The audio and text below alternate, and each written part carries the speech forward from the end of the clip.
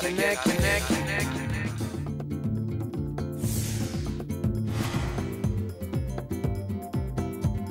Today we're going to take a look at a portable drive made by a company called Iomega. And you probably remember Iomega, everybody does. They used to make the uh, zip disks and the uh, Jaz drives. Well, today, one of the many things they're doing, they're making portable hard drives. And it's just interesting to see how portable hard drives have really become more of an accessory than an actual utility. Because uh, let's face it, you can take these things with you. Why not have a choice how they look like? And so what they've done is they've come up with these drives. They're called Ego drives, Ego, like I have a big ego.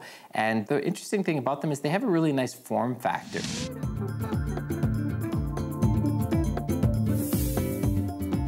See here that they're uh, very stylishly designed. Um, they have this nice blue one. They have all different colors. You can get pink and, and different colors. This one has a leather wrapped style here. You know, again, depending on what you're into, right? If I'm a business person, maybe I want a sort of conservative leather wrapped one. I can stick it in my, my breast pocket. And I guess in some senses, you might think it looks like a, a little flask, but nope, there's actually a hard drive in here. And they range in price depending on what size that you get. Uh, really cool things. And they actually make one uh, as well that is camel camouflage. And for demonstration purposes, I put it in my little plant over here. See, you couldn't even see it. I put it in front of my shirt.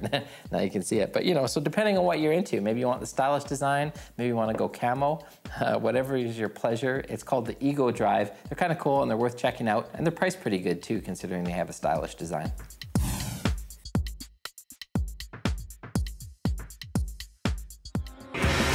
Connect, connect, connect.